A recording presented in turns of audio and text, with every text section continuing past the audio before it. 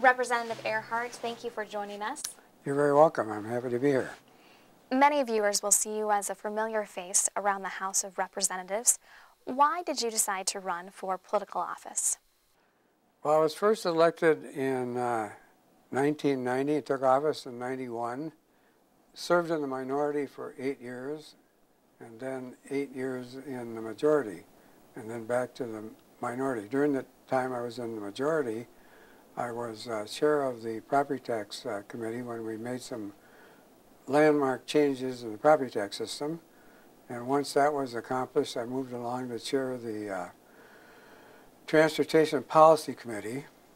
And uh, matter of fact, I turned that into the uh, uh, Finance Committee for the transportation system, and we passed a couple of very large transportation uh, bills. 2005 was vetoed, and uh, there was also a piece in there that Governor Pawlenty couldn't veto, which was the uh, transfer of the motor vehicle excise tax in from the general fund into the transportation fund.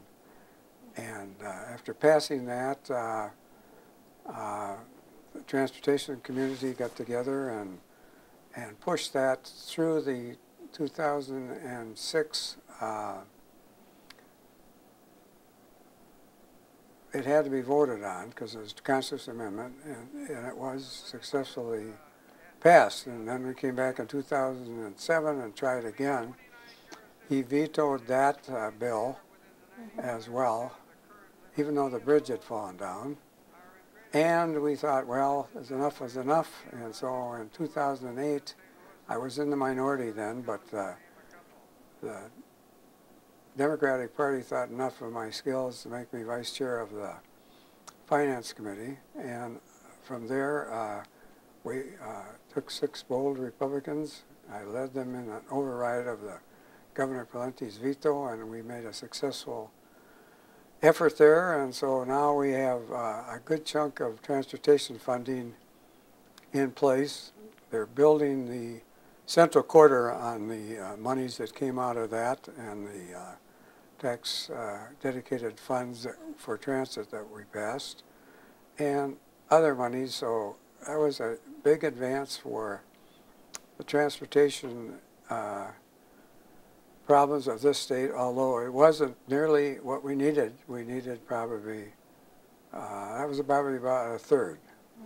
And uh, so uh, having been uh, defeated in 2008 in a three-way race because the Republican Party turned their back, put an X on my forehead and said, be gone, and wouldn't endorse me. So from there we went uh, sit on my hands for a while, and then there was an opportunity after redistricting to uh, take another uh, run at uh, at being uh, representing the area again, which is Edina, and uh, the people concurred that I might have some energy and spark and good thoughts for uh, more good government policies, and so they sent me back here.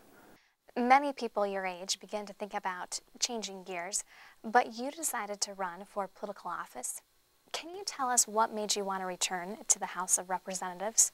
Well, I was kind of in neutral. I didn't really change gears for a couple of years there. And uh, I would say uh, that I, I was probably one of the three most knowledgeable people about the transportation system that were in the legislature. One was uh, Senator Murphy, and one was uh, Representative Lieder, and myself.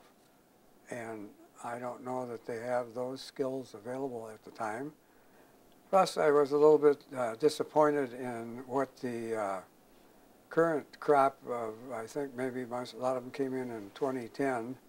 Uh, I, I have some respect for the institution, and I thought they are kind of ripping it up and they don't know what they're doing and they're not really getting things done. And I thought after looking at the roster of people who are running, I think there were about eight or nine uh, former legislators that came out of the woodwork and said, we got to set this thing straight. And I think most of them were elected. So I'm one of those that thought hey, I've got something to offer yet, and uh, so let's do it. Well, you were named chair of the House Transportation Policy Committee, and you've already talked about issues you took on last time you were here at the House of Representatives. But what issues are you looking forward to taking on this legislative session?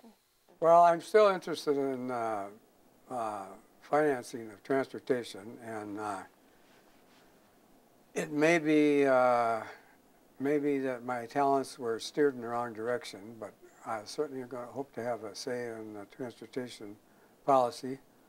I'm also, uh, with the experience I've had on the uh, tax committee, I think we'll be re restricting the taxes. And uh, of course, there's going to be uh, an effort to balance the budget, which we should do, structurally balance the budget. And uh, in my in, in Edina, a very important issue has always been K-12 we do need an improved funding for K-12 that's on a consistent basis. Do you feel like there was any unfinished business with your past legislative experience that you now want to see addressed? Well, the transportation thing, of course, we only got about a third of what we needed in that bill. That's about all that we that uh, the legislature could stomach at that time. We needed, uh, we had uh, about six billion dollars in taxes and bonding in that bill. And uh, as it turns out, uh, we knew at the time that we needed three times that. Uh, but that was all that we could get buy-in because it was it was a previous 20 years before they had raised the gas tax and done any of the rest of it. And they had never had a dedicated source for transit. And meanwhile, uh, this area was falling by, behind the rest of the uh, uh, comparable cities who were moving ahead with transit. And it's very important for the business community that we do our roads, bridges, and transit so they can get people to back and forth uh, to work for the transit and so that they can get goods to market and patrons to buy them. Having spent 18 years in the legislature as a Republican, what will it be like for you to now be part of the DFL caucus? Well, I've always been very independent, and I've been a centrist, and I used to work with the Democrats all the time and also work with the Republicans. And if you're a real purist, of course, as some of the uh, Republicans were, obviously they wouldn't uh, support me because uh, in 2008 because I had overridden the governor for good cause, I think. Um, and uh, I, wasn't alone in that, I, but I did do the leading of the, the uh, override six, as they're called.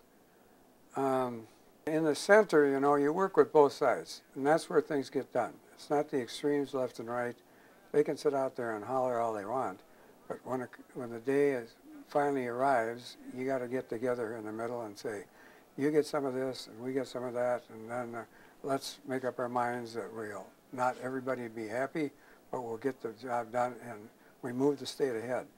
This is democracy, and you know we've got uh, 201 legislators here, all from different areas of the state, all with different ideas, and you got to talk about them and and move uh, ahead on the basis that look, we'll, we'll, we'll not everybody get what they want here, but we'll take some of this and some of that, and we'll get something done.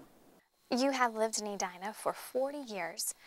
What does it mean for you that the people in Edina reelected you, even though you switched parties? And can you talk about the trust they have placed in you? Well, I think it's a high degree of trust. Now, I know that the, the hard R's that never do anything else never think besi besides Republican thoughts. We're, we had a very difficult time of, of uh, voting for me, but some of them did, but not most of them. That, and there's that segment. So, but there are a lot of people who are out there who are inclined to uh, uh, ticket splitters, as some people call them. Uh, they're very apt to uh, look at the measure of the person. And in my case, of course, I'm a, I was a known factor. They, uh, many times at the door, they would say, well, I don't always agree with you, but you try and find the right answer, and you're, you're a centrist, you're a moderate, and so uh, that, that was important, that long history, even though I was missing for four years. Well, thank you again, Representative Erhardt, for taking the time to sit down and talk to us.